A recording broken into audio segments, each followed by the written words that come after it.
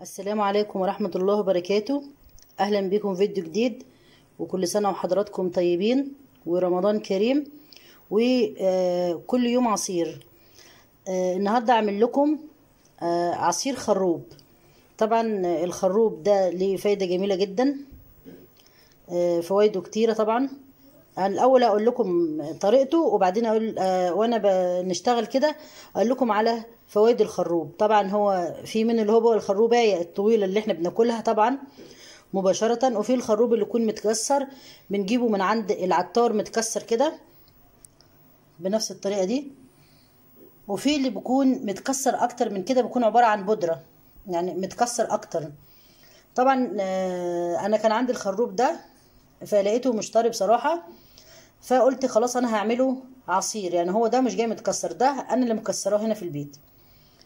آه، طبعا أنا جبت الخروب ده كيلو خروب حطيت عليه آه، كوباية سكر وهحط عليه لتر مية وهسيبه يغلي آه، معاه لدرجة إن هو يعني يغلي فترة نص ساعة على النار.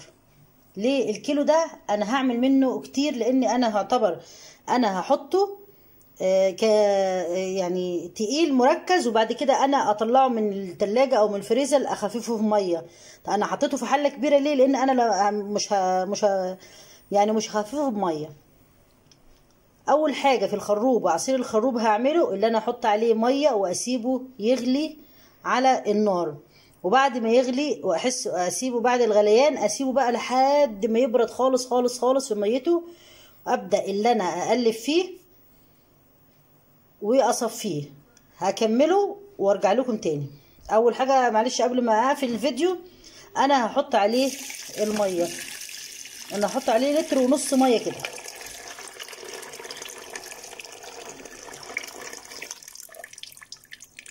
طبعا ليه أنا ما كترتش سكر؟ لأن هو السكر هو نفسه هينزل سكر. بعد كده أنا أظبط السكر بتاعي.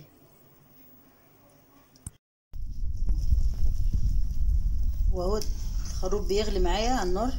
شوفوا تحسوا إن ال- دبلت خلاص طريت خالص.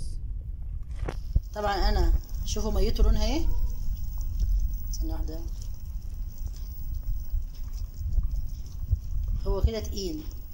لسه بقى هسيبه لما حد ما يقصر مع المية وبعدين هصفيه بالمصفى وهاخد المية بتاعته دي. طبعا أنا اديته الخروب دي آه، غسلته الأول قبل ما أحطه على النار. كده هي دي المية اللي إحنا نعمل منها عصير الخروب. هسيبه بقى كده يبرد خالص خالص خالص وبعدين أصفيه بالمصفى وأوريكم بقى تكملته. إن شاء الله. كده ده الخروب بعد ما اتغلى وأنا إيه هصفيه بالمصفى. كده أنا صفيته بالمصفى. هو ده لونه. ممكن إحنا نشربه كده وممكن إحنا برضو نعمله بطريقة تانية. هعملها لكم بطريقة تانية يبقى طعمه جميل جدا برضو. اللي حابب ان هو يشربه كده طبعا هو مفيد جدا آه، لمرضى السكر بس ما الواحد ما يكترش منه لأنه آه، بيخفض نسبة الكوليسترول في الدم. آه، لو إحنا هنشربه كده من غير ما يضيف له سكر يبقى تمام التمام. اللي حابب بقى إن هو يسكره يبقى إيه؟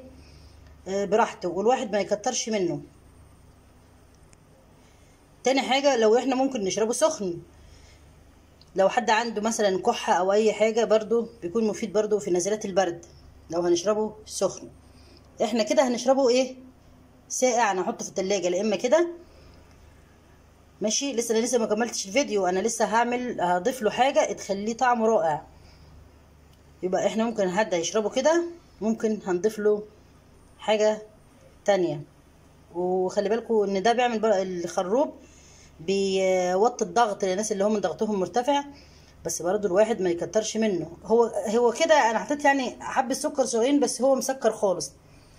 لو هو بقى كده تقيل أنا ممكن هعينه في كيسين في ال deep freezer وأعمل على قدي وكل لما أعوز أطلع أطلع إيه براحتي آه، من الفريزر وأضربه في الخلاط بالخلطة اللي أنا أقول لكم إيه عليها.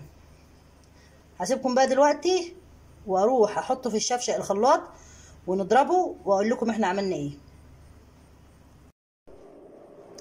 وده الخروب بتاعي حطيته في الخلاط بعد ما صفيته وهضيف له علبة زبادي وهضربه في الخلاط. طبعا أنا مش هسكره قوي ولا أحط له سكر لأن إحنا بنحب العصاير ناقص سكر شوية.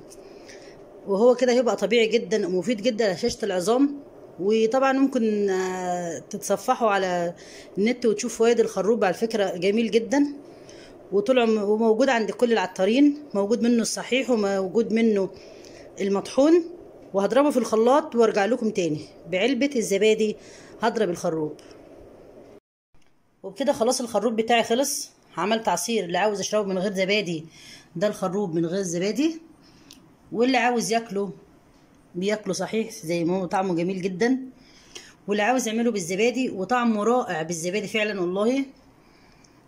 وجربوه مش هتندموا. وأحلى طريقة لعصير الخروب. وفي النهاية ما تنسوش تعملوا like و share واشتراك للقناة. وجربوه بإذن الله يعجبكم. ولا اله الا الله